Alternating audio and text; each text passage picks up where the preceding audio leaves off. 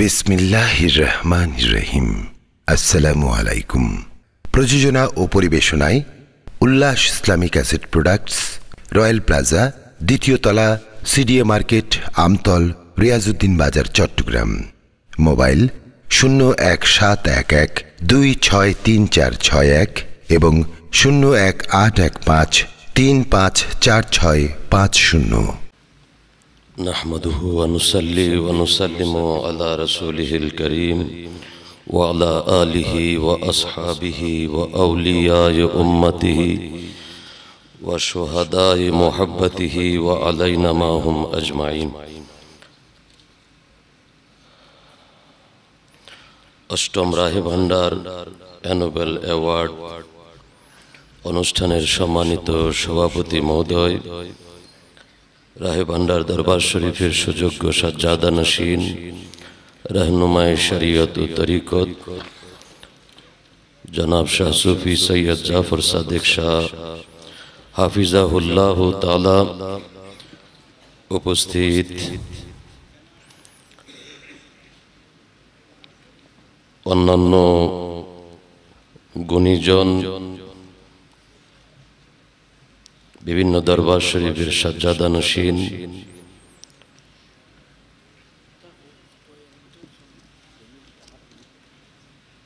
উপস্থিত সুদী, আসসালামু আলাইকুম রহমতুল্লাহ বারাকাত আসলে এসেছিলাম শুধু শোনার জন্য।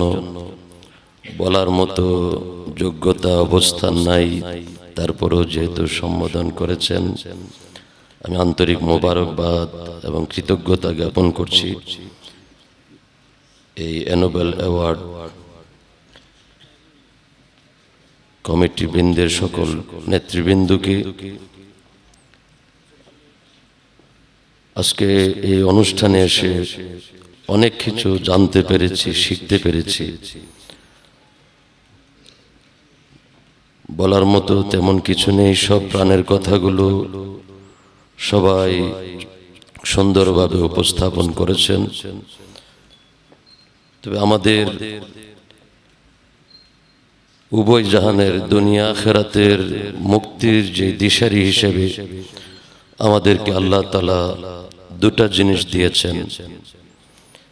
একটা দিয়েছেন আমাদের দয়াল নবীকে, পাশাপাশি ওনার সাথে আমাদেরকে একটা কিতাব দিয়েছেন, যেটাকে আমরা আল কোরআন বলি। এই দুইটার সমন্বয়ে আমাদের সৃষ্টিকর্তা আমাদেরকে পরিচালনা করেছেন।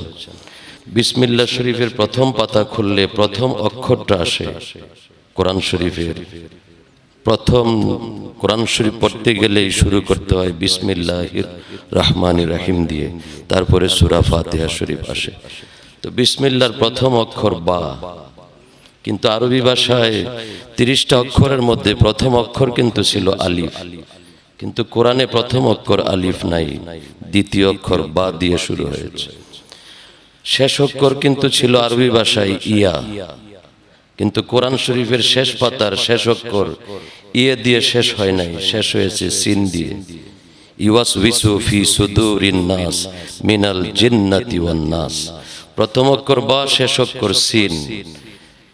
কেন বা দিয়ে শুরু করলেন, কেন সিন দিয়ে শেষ করলেন?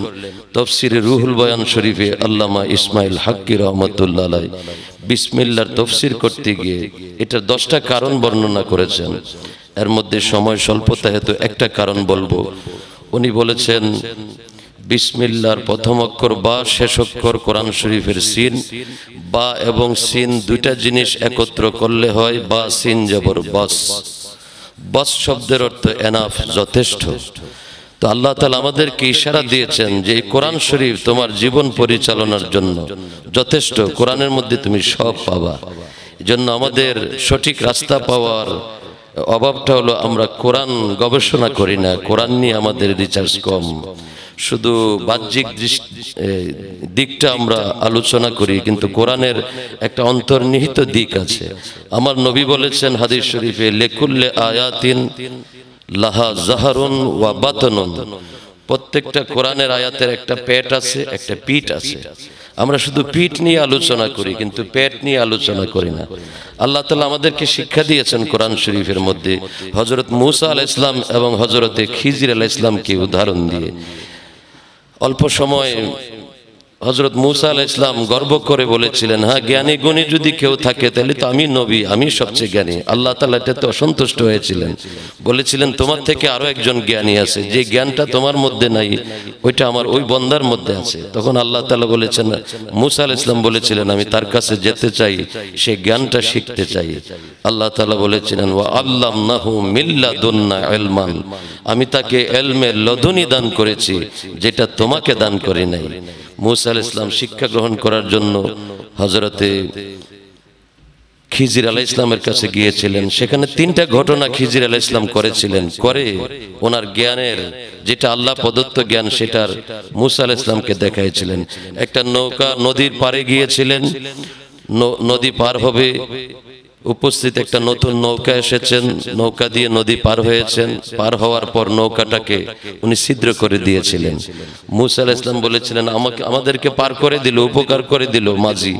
আর আপনি তাকে অপকার করে দিলেন, তার নতুন নৌকাটা আপনি ছিদ্র করে দিলেন। তখন খিজিরা ইসলাম বলেছিলেন, আমি প্রথমে আপনাকে বলেছিলাম যে আপনি আমার সাথে ধৈর্য ধরে থাকতে পারবেন না। আমার কর্মগুলো আপনার কাছে ভালো লাগবে না। তখন মুসা ইসলাম বলছেন, ঠিক আছে, আমি আর আপনার কোনো কর্মে বাধা দিব না, আপত্তি করব না। দ্বিতীয়বার গিয়ে দেখেন কতগুলা শিশু বাচ্চা, নাবালেক, নিষ্পাপ, শিশু বাচ্চা খেলা করতেছেন। একটা সুন্দর বাচ্চাকে তিনি ধয়ে উনি জবাই করে দিলেন। তখন মুসা আলাইহিস ইসলাম আর ধৈর্য ধরে থাকতে পারেন যে আপনি একটা নিষ্পাপ শিশু বাচ্চাকে আপনি জবাই করে ফেললেন।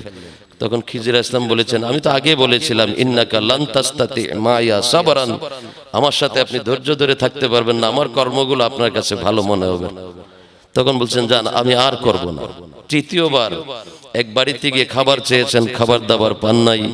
বাড়িওয়ালা ওনাদেরকে আরও বকাঝকা করে বিদায় করে দিয়েছেন। আসার সময় উনি একটা বাড়ির ভাঙ্গা ওয়ালকে অনেক কষ্ট করে এটাকে সোজা করে দিয়ে এসেছেন। মুসা নবীজি বললেন যে এবার আমি থাকি আর না থাকি। তিনটা কর্ম আপনি করেছেন। আমাদেরকে তারা খানাও দেয় নাই। আমাদেরকে বিতাড়িত করেছে গালমন্দ করেছে আপনি তার উপকার করে দিলেন। আমাকে আবার বুঝাই বলুন আপনি এই তিনটা কর্ম কি করেছেন? তখন খিজির ইসলাম বলেছিলেন যে প্রথম যে নৌকাটা ছিদ্র করেছি আমি দেখেছি সামনের দিকে অনেক দূরে একটা বাদশাহ বসে আছে নতুন নতুন নৌকাগুলো ধরে ধরে নিয়ে যায়। এই মাঝির নৌকাটা নতুন তার পাঁচ ভাই চার ভাই পঙ্গু তার কামাই দিয়ে বাকি চার ভাই চলে। সামনে যদি সে যায় বাদশাহ নৌকাটাকে নিয়ে যাবে তার রিজিকের ব্যবস্থাটা বন্ধ হয়ে যাবে। এই জন্য আমি নৌকাটাকে ছিদ্র করে পুরান বানিয়ে দিলাম, যাতে বাদশাহ নৌকাটা না ধরে এই নৌকা বে মাঝি তার রিজিকের ব্যবস্থা করবে।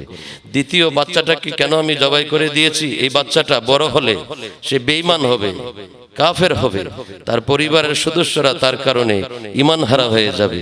আমি ভবিষ্যৎটা দেখে তাকে আমি হত্যা করে ফেলেছি, নিষ্পাপ অবস্থায় সে এখন পাপহীন ভাবে আল্লাহর নিরাময়, শান্তিময় জান্নাতের মধ্যে যেতে পারবে। তৃতীয় কাজটা করেছি, ওই ওয়ালটার নিচে এতিমের মাল রক্ষিত আছে। সেই ওয়ালটা যদি ভেঙে যায়, সেই ধনগুলা মানুষ লুটপাট করে নিয়ে যাবে। তখন মুসার ইসলাম বুঝতে পেরেছিলেন যে আসলে এই জ্ঞানগুলো আমার মধ্যে ছিল না, আল্লাহ তালা আমাকে শিক্ষা দিয়েছেন। এই আয়াত দিয়ে আমরা বুঝতে পেরেছি যে আল্লাহর অলিদের অলিয়া কারাম। খিজির ইসলামকে জমহুর মুফাসরিন কারাম বলেছেন, উনি একজন আল্লাহর অলি।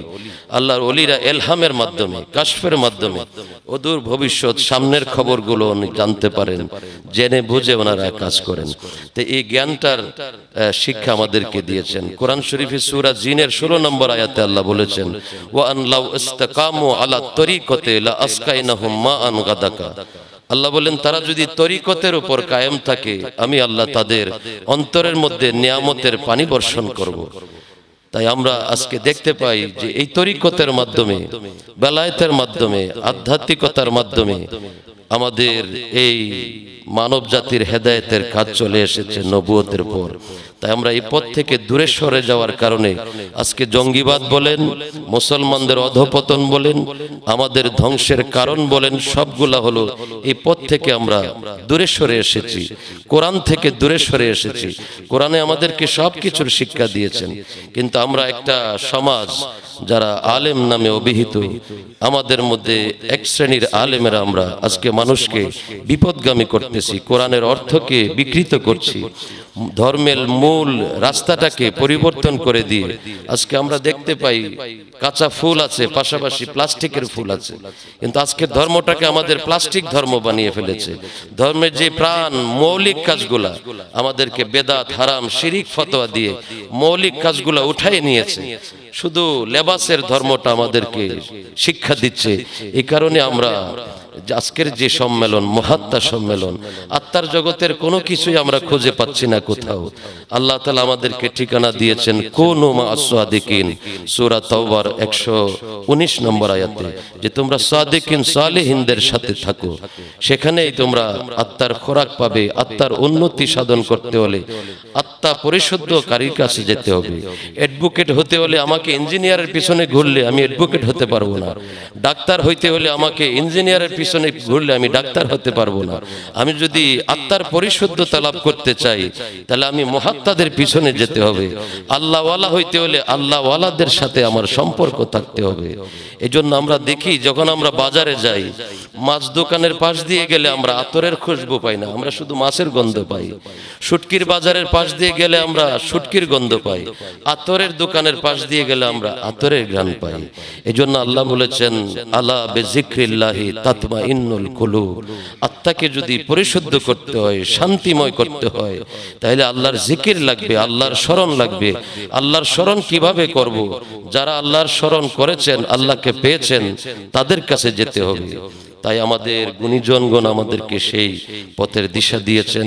সর্বশেষে যিনি বক্তব্য রেখেছেন কুমিল্লা আমাদের নূরনগর দরবার শরীফের সাজ্জাদা নসীন, আমার পরম শ্রদ্ধাভাজন শ্বশুর বাবাজান, যিনি সুরা ফাতেহার আয়াত দিয়ে আমাদেরকে বুঝাইছেন যে পাঁচ ওয়াক্ত নামাজে যে শিক্ষাটা আমরা পাওয়ার কথা সেটা আমরা পাচ্ছি না সুরা ফাতিহা থেকে।